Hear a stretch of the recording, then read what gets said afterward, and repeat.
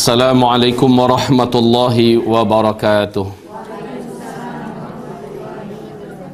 الحمد لله والصلاة والسلام على رسول الله صلى الله عليه وسلم. لا حول ولا قوة إلا بالله العلي العظيم. اللهم لا سهل إلا ما جعلته سهلاً. wa anta taj'alul hazana idza syi'ta sahla. Rabbi syrah li sadri wa yassir li amri.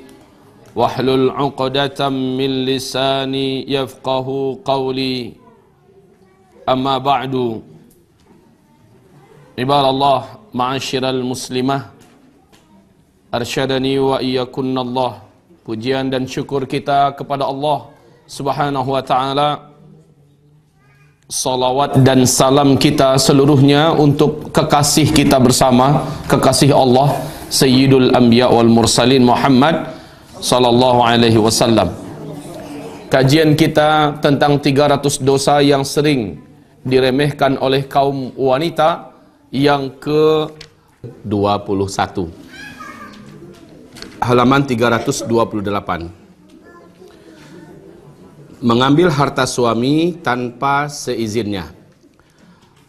Mengambil harta suami tanpa seizinnya. Asado pitih laki di cerawah. Abih sisa-sisa yang ada agak ku cik piah bu. Indak berpulangan ke suami awak. Fahiyya sariqah. Itu hukumnya ya. Fahiyya sariqah. Sekalipun diniatkan untuk sedekah. Saya niat sedekah Pak Ustadz. Walaupun suami nggak tahu karena saya tahu laki saya sempili Pak Ustadz. Jadi saya sedekahkan semoga suami saya berpahala. Judulnya suami tahu nggak? Suami izin nggak? Enggak, pencuri kamu. Begitu hukumnya loh pencuri kamu. Maka ibu-ibu yang kami muliakan, mari kita dengarkan berikut ini. Di mana Imam Bukhari, Abu Daud dan Imam At-Tirmidzi, semoga Allah memberikan rahmat kepada mereka seluruhnya, meriwayatkan sebuah hadis di mana Rasulullah sallallahu alaihi bersabda, "Ala ukhbirukum bi khairi ma yaknizul mar'u" المرأة الصالحة إذا نظر إليها سرته وإذا أمرها وإذا أمرها أطاعته وإذا غاب عنها حفظته في نفسها وماله. Artinya.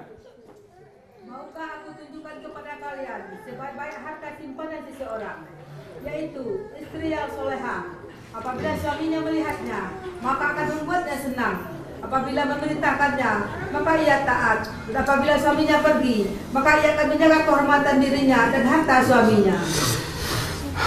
Saya merasa nyaman, Bu. Dan saya yakin seluruh para suami pasti merasa nyaman apabila istri-istrinya amanah di rumah. Amanah sekali. Karena istri-istrinya takut kepada Allah Subhanahu wa taala.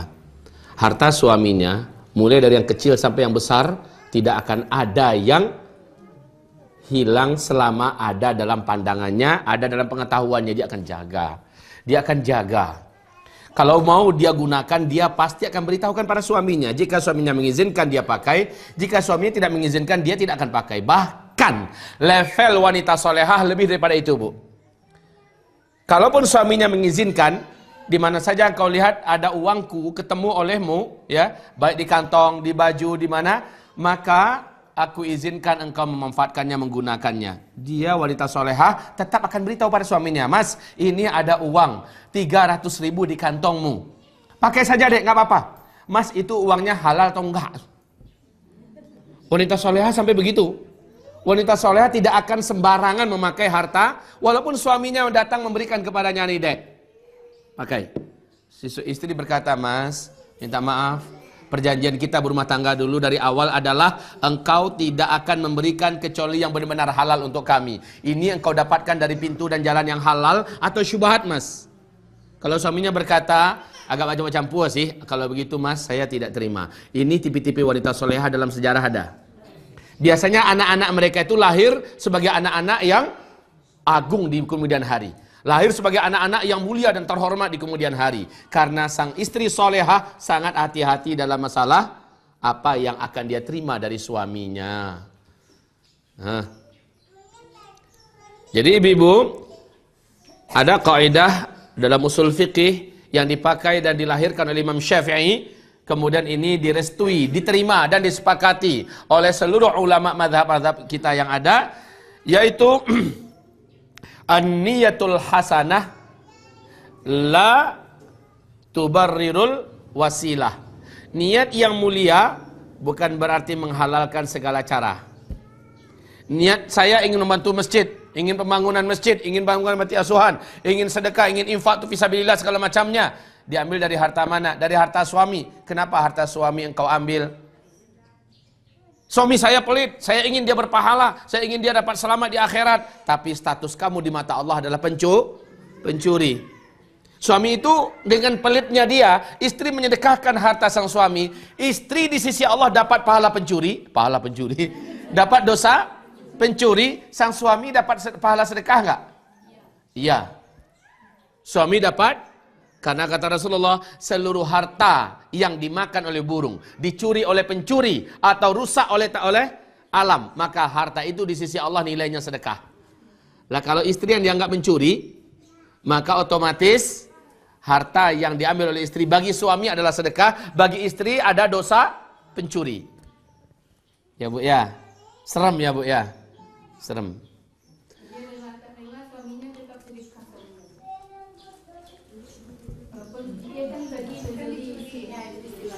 Oh iya, iya, iya. Bagi suami tetap nilainya sedekah. Setelah dikasih tahu oleh istrinya, Mas, uang kamu tadi ketemu oleh saya di kantongmu ada 150 ribu. Dan ada orang yang sangat fakir lewat tadi saya berikan kepadanya. Apa kata suami kita? Apa kata suami ibu? Kurang ajar kamu. Aku capek-capek cari uang, kamu beri-berikan kepada orang sesuka hatimu. Suami marah begitu, dapat para sedekah nggak suami? Hilang. Karena setelah dia tahu dia tidak ridho. Atau begini, oh lah bagiakan tuh, iyo, ya ke alai. Nah, ke alai, dapat pahala su suami nggak? Masih dapat. Ya, selama dia tidak menyakiti istrinya dengan kata-kata, selama ia tidak menyesali Kapunduang kau. Tak bagi tahu kaden lu. Tak minta izin kaden lu. Aden pasti kau sedekah juga tapi nak sebanyak tu doh. Umpamanya. Baik ibu-ibu, maafkan Allah. Semoga Allah Subhanahu wa taala melindungi ibu-ibu dari bersuamikan orang yang bakhil. Amin. Ya. Hah? Kecopetan tetap sedekah. Di sisi Allah, kecopetan dengan dimaling orang, dicuri orang kan sama judulnya. Ya. Redaksi bahasanya saja yang berbeda. Termasuk dirampok orang. Iya. Eh, lagi pula, apabila kita mengeluh, pertanyaan terbesar saya, apakah akan kembali duit yang kita keluhkan dicuri orang itu? Lalu kenapa kita harus mengeluh? Kenapa kita tidak ucapkan saja Alhamdulillah Lanjut Inna lillahi wa inna Lanjut Allahumma ajurni fi musibati wa akhlif li khairan minha. Kenapa tidak begitu? Daripada Ah, ini dia makonyo ibu-ibu acok-acok mengaji biar takana tadi dewa ilmu ko. Ibu kan pelupo kan? Nah, iyo kan mengaku ibu. Ibu pelupo. Jadi kalau ibu acok mengaji, insya Allah lain di kanan-kanan jo tarui. Ada yang terus mengingat-ingatkan kita. Oh, kita kan pelupa ya bu ya. Ini anak siapa nih? Saya terganggu loh. Kalau nggak ada bertanggung jawab, saya larikan anak ini milik saya jadi. Ini satu lagi. La haula wala quwata illa billah. Duduk makannya. Bagus ini anak soleha. Hmm. Saya kasih waktu setengah jam bila tidak ada yang menyelamatkan anak itu saya bawa lari pulang.